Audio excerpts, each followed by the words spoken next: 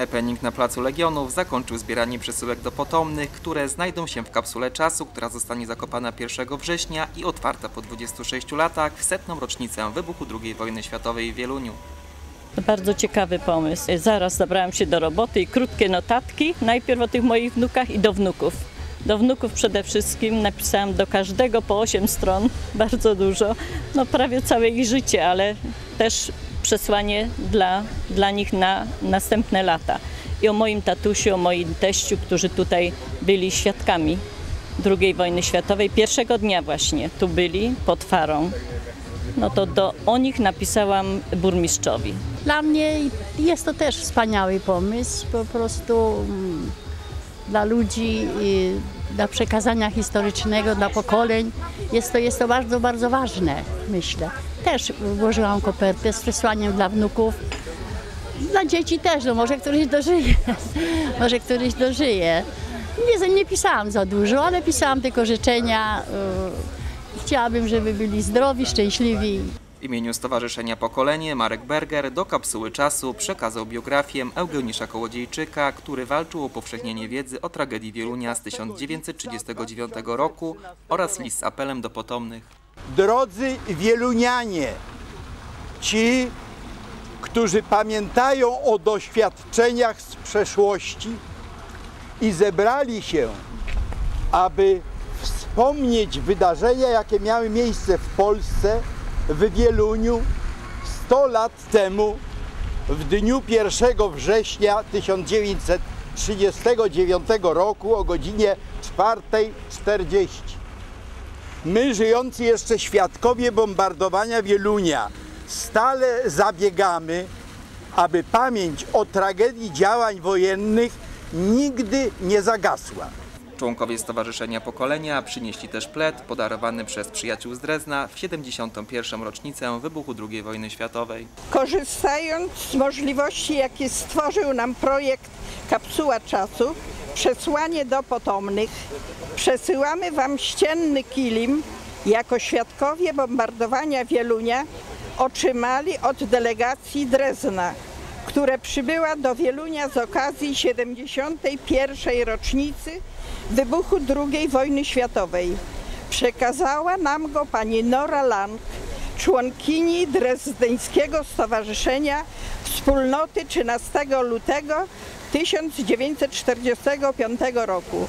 Jak świeże bułeczki rozchodziły się wieluńskie pocztówki i okolicznościowe znaczki z Wieluniem, które sprzedawała Poczta Polska. Poczta od początku akcji uczestniczyła bardzo czynnie w promocji e, tego przedsięwzięcia. Dzisiaj praktycznie w ostatnim dniu postanowiliśmy także wziąć udział.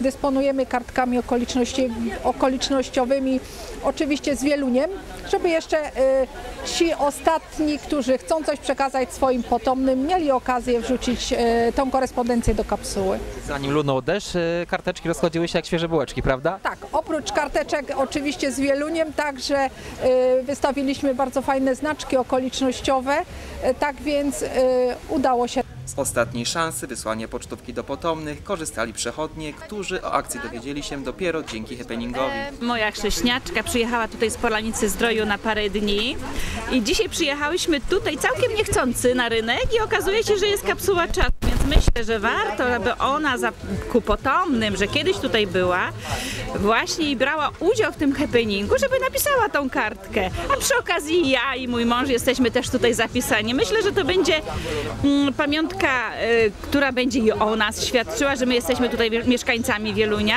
ale i też świadczyć będzie dla niej taka kiedyś na przyszłość fantastyczna, e, myślę, e, okazja do tego, żeby tutaj ponownie przyjechać i po ilu latach tutaj ma być kapsuła otwarta?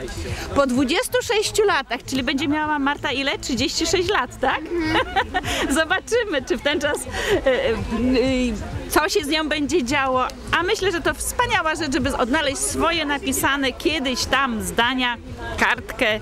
Dzięki współpracy z policją mieszkańcy mieli też okazję zostawienia w kapsule śladu niemożliwego do podrobienia. Na specjalnym dokumencie można było bowiem odcisnąć palce. W specjalnym kufrze wylądowało też specjalne wydanie Dziennika Łódzkiego. Za 26 lat czytelnicy będą mogli dowiedzieć się, jak wyglądał poniedziałkowy happening i przypomnieć ideę projektu. Umieszczamy w kufrze specjalne wydanie naszego tygodnika z dużą wkładką dotyczącą właśnie kapsuły czasu.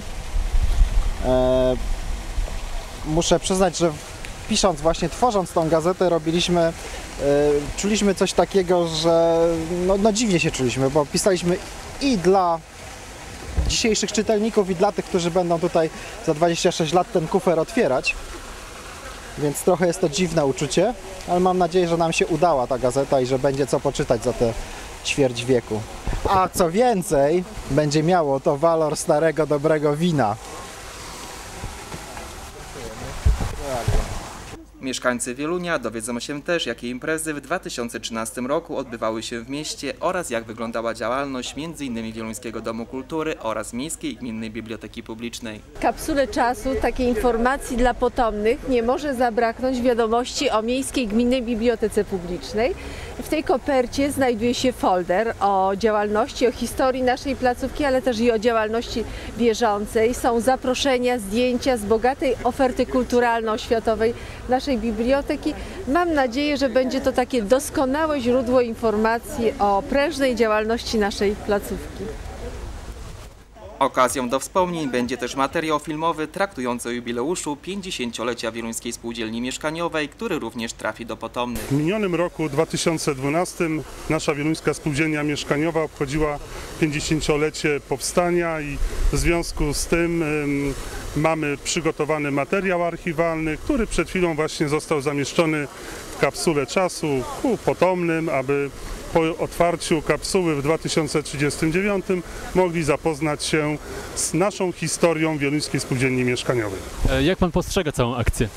Bardzo ciekawa akcja, rzadko spotykana, chociaż w niektórych miejscach naszego kraju też y, udało mi się y, poczytać na temat tego typu inicjatyw. Uważam, że to jest bardzo fajna forma y, edukacyjna po tym okresie kilku nadchodzących, ładnych lat będzie można otworzyć, zobaczyć jak Wieluń wyglądał y, wczoraj. Płytę z nagraniem ze swojego jubileuszu złożyło także przedsiębiorstwo komunalne. Tak się składa, że e, obchodzimy dwudziestolecie spółki, przedsiębiorstwa komunalnego jako, jako spółka. E, I niedawno mieliśmy taką e, fajną uroczystość. E, Wielu pracowników przedsiębiorstwa było odznaczonych. em, I taką kasetę wideo m, z tymi wydarzeniami e, wrzuciliśmy tam. E, ale poza tym e, no, wrzuciliśmy także wycinki prasowe, ponieważ działalność przedsiębiorstwa obejmuje w zasadzie całość działalności takiej komunalnej miasta, woda, ścieki, mieszkania, odpady, więc na ten temat dużo się pisze, dużo się mówi, bo i radio, i prasa, i telewizja zamieszczają na ten temat wiele artykułów. W związku z tym wrzuciliśmy tam też wycinki prasowe różne i te dobre, w większości dobre, ale także m, te mówiące o kłopotach. Jeżeli ktoś to otworzy za, za te kilkadziesiąt lat, to będzie miał obraz, e, co tutaj się działo e, tak na co dzień, e, z czym się borykali, jakie kłopoty mieli mieszkańcy, jakie kłopoty miało przedsiębiorstwo. I myślę, że to będzie ciekawe za te kilkadziesiąt lat. Na happeningu nie zabrakło także samorządowców. Był poseł Cezary Tomczyk i Mariola Hernas, wójt gminy Konopnica. Ze sobą zabrałam e, nasze dni gminy Konopnica w stylu Bollywood i oczywiście aktualne zdjęcia gminy Konopnica, urząd e, gminy, straż pożarną w Konopnicy, skrzyżowanie i kościół, który jest taki bardzo ważny dla nas e, w Konopnicy. Wzięło w e, akcji udział kilkaset osób, właściwie e, e, prawie e, tysiąc czy dwa tysiące osób. E, To, jest o tyle fajne, że mm, list, który w- wrzuciłem tam dzisiaj, e, wtedy kiedy będzie otwarty, e, to zdałem sobie z tego sprawę, że mój syn będzie w moim wieku e, wtedy, kiedy przyjdzie 2039.